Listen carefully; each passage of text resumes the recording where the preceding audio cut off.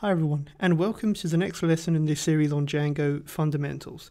So today we're going to carry on with profile management. So yesterday we were learning how to uh, update uh, our profile, so things such as our username and our email. But what we're going to do now is we're going to go ahead and carry out profile management again, but this time we want to uh, allow our users to delete their account. So let's get straight to it. So first of all, we are going to go to templates profile and we're going to have a delete account.html page. So this is going to be very similar to, um, you know, in CRUD when we have delete, it's going to follow a very similar way of logic. So let's go ahead and just create a new HTML template called delete account.html. You can call it anything that you want. Okay, and for now, we'll just leave that blank for the moment. Okay. Now we would need to go to our views.py and let's open our urls.py as well in the meantime. Okay, so we're going to go ahead and create our, actually, let's go ahead and create our view first. So let's see where it would be appropriate. So I think under, yeah, just under profile management would be good. So I'm going to create a function here and I'm going to say def and let's say account, uh, let's say delete account would be a good function name. So delete, and I'm going to say account. Okay, I need to pass in request, and of course I'm going to uh, use my login required decorator here. So everything that uh, users with an account can access should be protected with our login decorator. Okay, great. Now I can just say pass for the moment. Okay, so now let's go ahead and set this URL pass here. So I'm going to put it just under profile management since that would make the most sense. I'm just going to copy this here. And here I'm just going to say delete account. Okay, so this will be our URL path for it that we're going to define now. So let me just copy this. And we're just going to paste it here. Okay, so we can just say here as our route, uh, it will be delete dash account. Okay, our views, we in our views.py file, and we're going to reference our function name, and our function name is called delete account. So we can go ahead and just say delete account. Delete account, perfect. Now our name parameter value here will be delete account as well. Okay, so you can just leave it like that, that's perfect. Right, so let's go back to views.py, and now let's actually, actually write our logic. Right. So the first thing that we need to do is we need to go ahead and just say if the request that we're expecting is to be a post request. So a bit of repetition here. So we can go ahead and say if request dot method is equal to that of a post request, I want to go ahead and delete a user. Now, of course, I need to delete a specific uh, instance here. So I'm going to make a variable called delete uh, user. So delete user and I'm going to, of course, um, search for the user under my user model and get the user name, which is going to be according to the current user that is logged in. Okay, so this is what we're doing here. This is how we get that specific instance of the user that has been logged in. So I'm to, going to go ahead and search for the object in user in our user model, where the username in our model so in our database is equal to the user that is currently signed in. So this allows us to uh, assist the user signed in, okay, with deleting their account, since we know that this is the user signing in and he wants to delete his or her account. Perfect. So we just need to say that, and we can simply go ahead and just say delete user dot delete. So we're just going to utilize the delete method here. So in other words here, by delete user, we are obtaining our instance of this user that is signed in, and that specific user, we're going to go ahead and, and delete that user. So we're going to delete him from the database. Okay, now it's very simple. We can just say now return redirect, and it would be appropriate if a user deletes his account to just simply be redirected back to the home page. So I just want to double check what uh, I have for my dashboard here. Uh, no, sorry. Let me check the homepage. Okay, great. Okay, so we're going to redirect back to the homepage, which is which is perfect. So I'll just actually leave it empty. Yeah, perfect. Okay, so what I'm also going to do, I think it might be better to, I'm going to leave it as single quotes actually. Okay, since uh, I think that will be a better way of doing it. So you can decide how you want to define it. I just prefer uh, two empty strings here. Okay, great. So that's all we need. Now we need to, of course, render uh, this delete account HTML uh, template.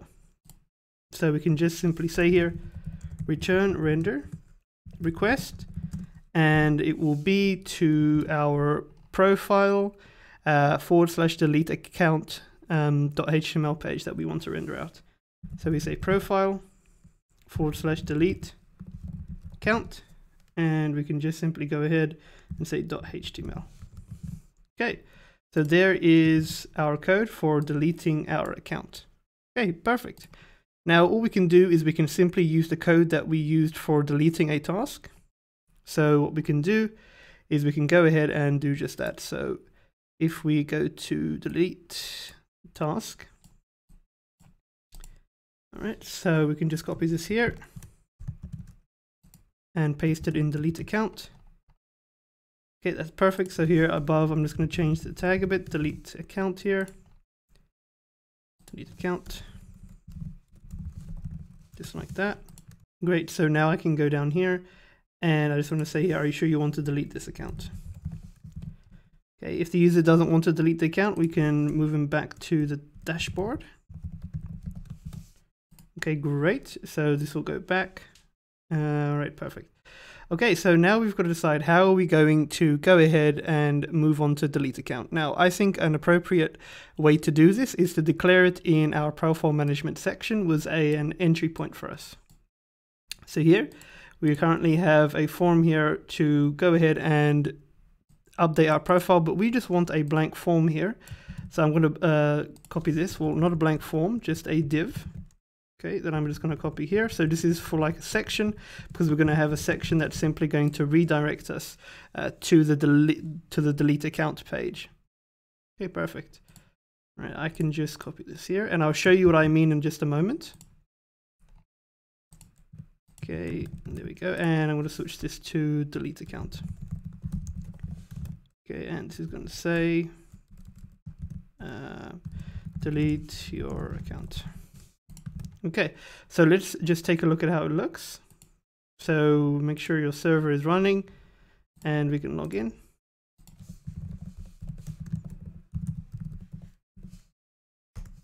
Okay, just log in. And if you head over to profile management and you scroll down, you'll see there will be a delete your account option here. So if we click on this, it will take us to the page here. We can say, are you sure you want to delete this account? So you'll see it says delete task. We can actually change that value actually. So I'm just going to go ahead and change that value to delete account, just like so. And then I'm going to go back and let's see how it looks now. Great. Okay, I just want to change this maybe to a button and add some text here. So I can go ahead down here and I'm just going to copy this h3 tag and I'm going to put it here and say um, delete your account. Uh, actually, let's make it make it a, a heading here. Delete account, and I'm going to put a HR tag here. Refresh. Okay, I can. Yeah, that's fine. I can maybe then just go ahead and center this. So you can decide how you want to display it, whereas your HTML or CSS, either way is fine. Okay. Okay, so we could maybe then put a button here so we can actually reuse some of our code from before. So if we go to, let's see what we'll use. We will use, I think, if we go to our base file, let's just reuse one of these links here that's uh, styled as a button. So if we go to profile management, we can just replace this. Okay, so the reason I'm using this is so that we now have a bit of a button property here. So I can just switch this around and say delete account. So we now have a button instead of just a normal link that we use. So the button will act as a link, but at least now it looks a little bit better. So let me just go ahead and do this. So now we'll see it'll look a bit better. So if I were to go and refresh, there we go. Okay, so maybe we, we should actually not center it. Okay, let's leave it as it is. Uh, it's not centered. Actually, it's going to look better if we just leave it by the side. Okay, so let's remove the outline as well. If I were to refresh. Okay, that looks a lot better. So we can go ahead and delete our account and then we will delete it. We can go back, of course, and that will send us back to actually the dashboard. We don't want to go to the dashboard though. So under delete uh, account, we want to go back to profile management. All right, so I'm just going to now say profile dash management. So just our route for profile management. So as you can see in urls.py, it is as follows. Okay, well, here. Okay. Now we can actually, oh, this is, doesn't make sense. So delete account. Okay, so you can just go ahead and change the text there as well. Okay, so this should be fine. So if I were to go back to profile management, delete your account, Okay, there, it looks great. Now let's actually delete account, but I don't want to delete this account here of 196. I want us to test an account. So let's use a test account. So I'm going to say test 99, test um, 99 at gmail.com.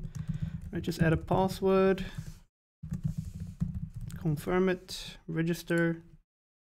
Perfect. Now you can sign in and just enter your password and username, username and password, profile management. Now we can go to delete your account. Okay, and let's just double check what's going to happen once we've deleted our account. So we're going to, of course, get our specific instance of our user that's logged in. Then we're going to delete that specific user once we have um, gone ahead and submitted this post request here. Okay, and then we're going to redirect, of course, we can see it's empty strings, and that is because we want to redirect to the home page. So if we see the home page upon going, upon deleting uh, our uh, account, uh, that means that it has been successful. But we will double check that, of course, in the admin page. So just before we do this, just bear in mind this username and this email address. Well, the username is all you really need. So let's go to delete the account. Let's do this, delete account. All right, so that seems like it worked.